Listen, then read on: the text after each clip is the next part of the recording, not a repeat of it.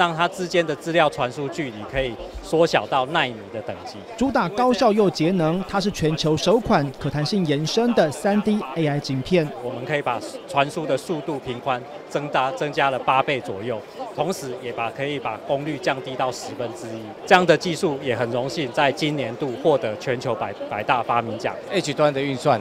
哦，或者是说一种各种不同的应用，乃至于在 AI server 上面的这样的一个应用，都是一个很具有竞竞争力的一个新的技术。生成式 AI 推动科技革命，工研院研发马不停蹄。像这个 AI 智能晶圆研磨系统，能提升加工效率三到五倍，是跨时代的技术。哦，让砂轮哦可以自动的一个呃自动的一个修复，都保持一个很坚定的状况，那可以让。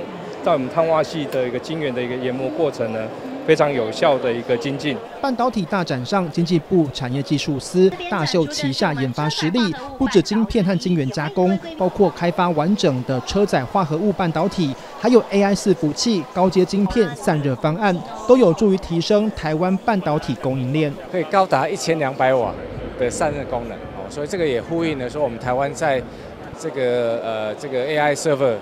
周边的一些相关的这个技术的发展，哈，这个也是目前台湾是有比较领先。集结产官学界心血，一口气展示四十五项前瞻技术，经济部要让台湾在全球 AI 产业竞赛当中奠定坚实基础。